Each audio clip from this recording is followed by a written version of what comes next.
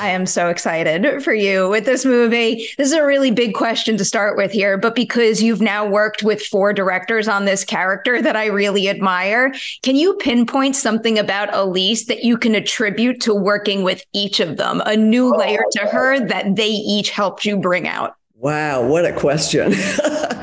um, you know what? Not really, because gratefully, uh, they pretty let me pretty much let me do what I was finding. The one note I ever got from James Wan is that I was too funny. there was one line it had to do in the very first movie. This is for real because we ne- she's a very we never really discussed it. And I mean, I've been given notes, you know, in terms of, you know, you want a little more of this or a little more of that, but that's that's given pretty much on set for whatever you're doing. But they've been very respectful and embracive of whatever I've brought into the franchise.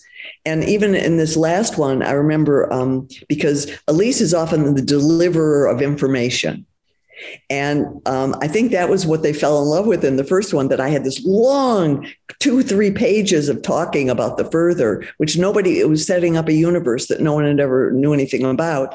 And I filled it though with um, emotion that there was some that each thing I, I, and I that's my skill as an actress I think. And I'm you know grateful for Uta Hagen, Stella Adler and Lee Strasberg who are my three teachers. And don't ever do it unless you're filling it with something of yours. And that's a great comment for any actor out there you oh, know. I love that so much. it, yeah it's never just informational. There's no such thing unless you're really supposed to be a newscaster and only delivering you know whatever. But so long story short um, uh, there was a scene where uh, Specs. He had bumped his head. It was in the first one, and he had some frozen peas, and we thought he should put the frozen peas on his head at one point. And James said, "Not there. You can't do it there because the next line is not going to be funny. You know, we need to we need to not have it be funny there." And actually, I think Leigh uses those peas anyway when I wasn't looking.